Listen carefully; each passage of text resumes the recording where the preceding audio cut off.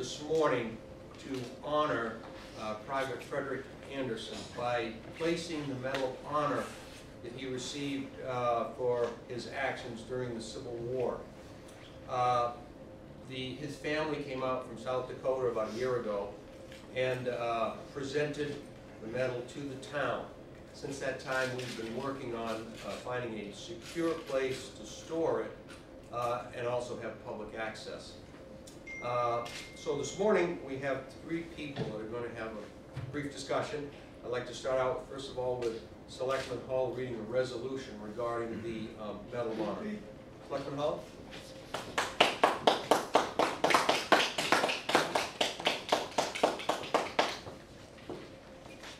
Perry. Good morning. I want to thank all of you for attending today. I'd also like to thank an individual who I see is not present today, who played a major role in helping this event to take place. Um, Tim Rhines, and for all his efforts that he did to get the medal um, to be honored and displayed here at the police station.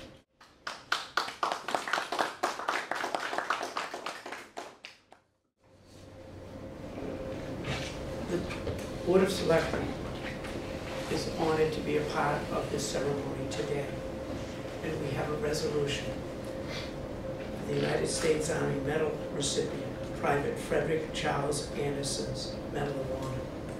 Whereas Private Frederick Charles Anderson, a Civil War hero and one of the first ever Medal of Honor recipients, was awarded the Medal of Honor on September 13, 1864, by General George Meade, commander of the Army of the Potomac, for conspicuous gallantry and good conduct displayed in capturing on the field of battle flags from the enemy.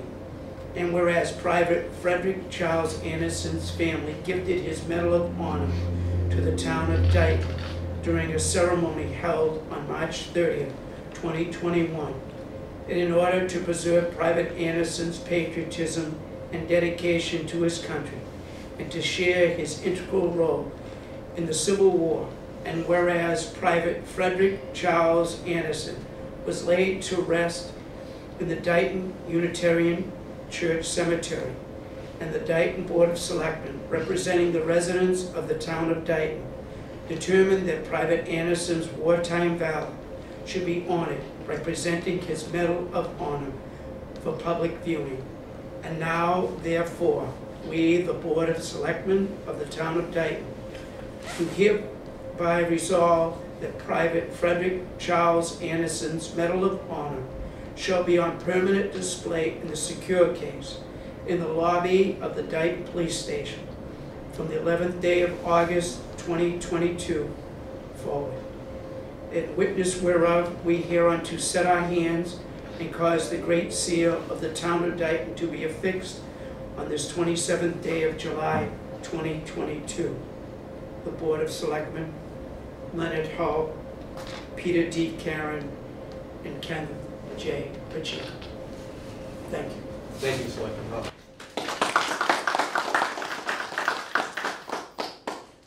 Our next speaker will be Mr. Robert Woods, who is going to discuss Mr. Anderson's life prior to entering the Union Army.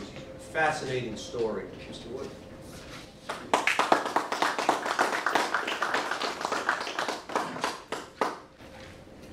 Welcome, everyone. And um, first, I'd like to say that it's an honor and a privilege to be a part of this Medal of Honor ceremony, regardless of Frederick C. Anderson or any other recipient of the Medal of Honor. Um, A brief history on Frederick Anderson. Frederick was born on March 24th, 19, no, 1842 in Boston, Massachusetts. He was orphaned by the age of eight. His parents disappeared from public record, meaning they were more than likely deceased. And he was then living in a workhouse called the House of Industry in the south of Boston.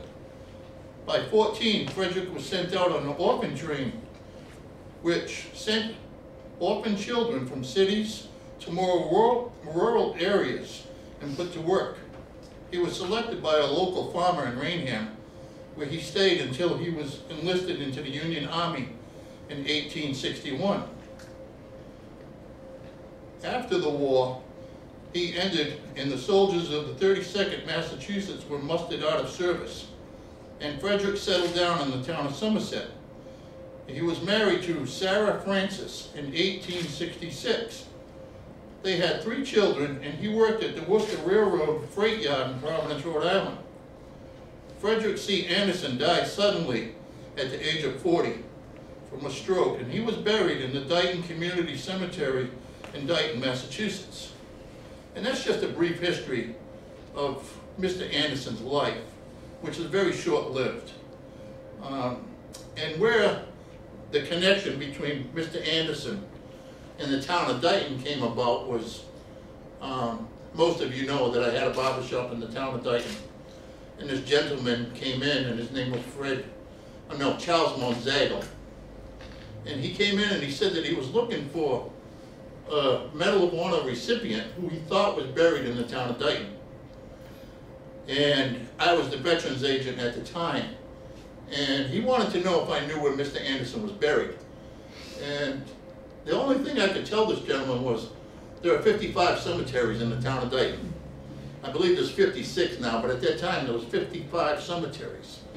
So, I had no idea where Mr. Anderson was buried. And Dave Marvell was the graves officer at the time. Um, he was just taking over for, uh, Mr. Phillips. And neither of those fellows knew where Mr. Anderson was buried either. So this, this gentleman who was in my shop was the nicest man you ever want to meet. He has since passed away. And uh, I became friends with him uh, through all this research. And at the time, Mr. Rhines, Timothy Rhines, was in my barber shop when Mr. Morzago came in. And, you know, I told him I was gonna do the best I could to try to find this veteran. And Mr. Rhines kept coming in the barber shop every week or two and said, have you found this guy yet? Have you found this guy yet? And I was like, you know, I have living veterans that I have to take care of as part of my job as the veterans agent. Really didn't have time to search for one man in fifty-five cemeteries. So I said to Mr. Rhines, I said, you know, you don't have nothing else to do, why don't you go find him? You know? So that's where it really began. Uh, Mr. Rhines was on a mission. He went poking around, looking in cemeteries, asking people, and he asked a gentleman named, uh, Mr. Costa, I can't think of his first name. Jack. He was Jack Costa, right, he was in the Lions Club, and he was, had something to do with the church. And he says, I think I know where this guy is. And sure as shit, they found him. There he was, he was there all that time. And we never knew it.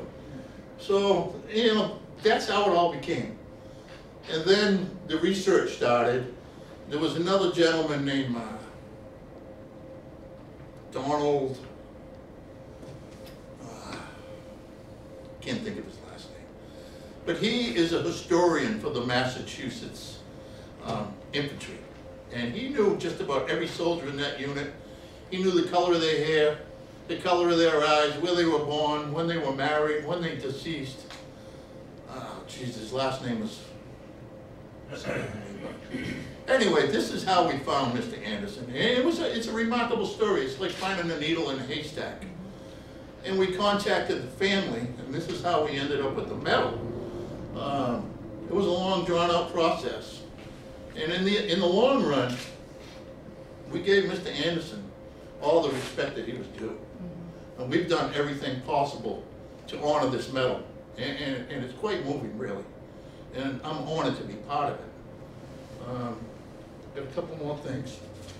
I would like to thank everyone for coming today, and I'd like to give a special thank you to the family of Frederick C. Anderson for donating the medal of honor to the town of Dighton. And I would also like to thank the Medal of Honor Committee, which is Mr. Colonel Perry, Mr. Jim Aguirre, Mr. Thomas Perry, Chief McDonald, our Veterans Agent Ray Haig, and our retired Veterans Agent Donald Hershey. And yourself. I myself, thank you.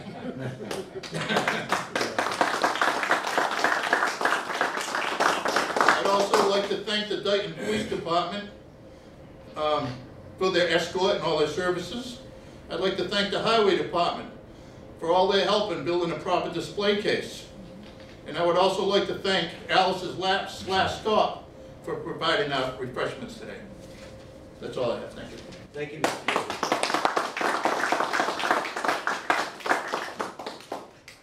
What's wonderful about living in Dighton is, if you listen to Mr. Wood's story, how the grave was found, that's the way things happen in small towns when people work together. Um, I want to do, I'm going to be as brief as I possibly can.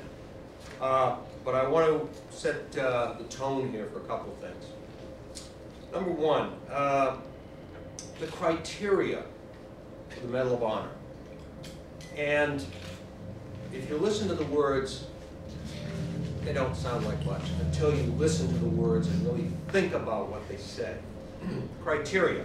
This is as, well, Medal of Honor, established by joint resolution of Congress, 12 July 1862, and amended three times, is awarded in the name of Congress to a person who, while a member of the armed forces, distinguished himself cons- by conspicuous gallantry and intrepidity at the risk of his life above and beyond the call of duty while engaged in action against an enemy of the United States, while engaged in military operations involving conflict with an opposing foreign force, or while serving with friendly foreign uh, forces engaged in an armed conflict against an opposing armed force in which the United States is not a not a belligerent party. The deed performed must clearly distinguish the individual above his comrades and must have involved risk of life. Think about those words. Involve repeatedly risk of life, risk of life, risk of life. Second thing I want to discuss very briefly. You know, today you can pick up a cell phone. You can call anybody in the world within, say, 10 seconds. And we've become accustomed to that.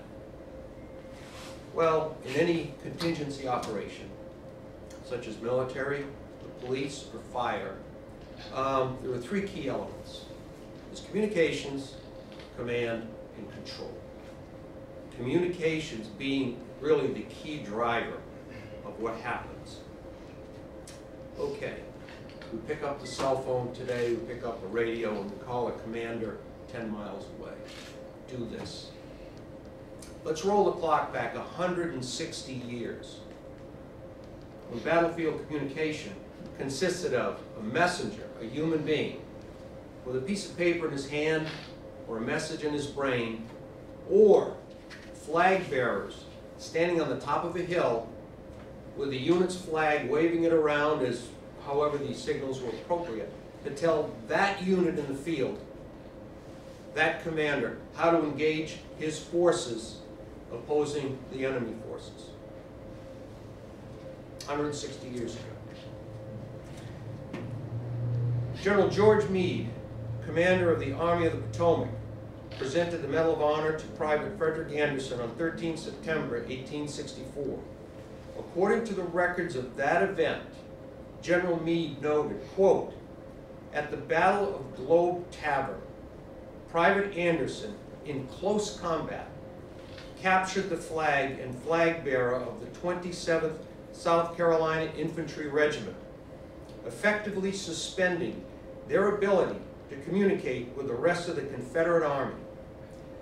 This allowed the Union Army to turn the battle in their favor, retaking Weldon Road. A typical Confederate infantry regiment had a thousand soldiers. Frederick Anderson took a thousand soldiers out of the battle with his action. And as General Meade noted, it turned the battle in favor of the Union forces. Just think about that. One man's action won a battle. This is his citation. The President of the United States of America, in the name of Congress, takes pleasure in presenting the Medal of Honor to Private Frederick Charles Anderson, United States Army, for extraordinary heroism on 21 August 1864, while serving with Company A, 18th Massachusetts Infantry, in action at Weldon Road, Virginia, for the capture of the battle flag of the 27th South Carolina Regiment, Confederate States of America, and the colored bearer. The, I believe General Meade also noted that it was in close, uh, close combat, risk of life, thousand soldiers out of the battle. The old expression, for want of a nail, a horse was lost, for want of a horse, a rider was lost. We're all familiar with that. Here's a classic example of that right here, one man's actions turning the battle. Decamped and hut.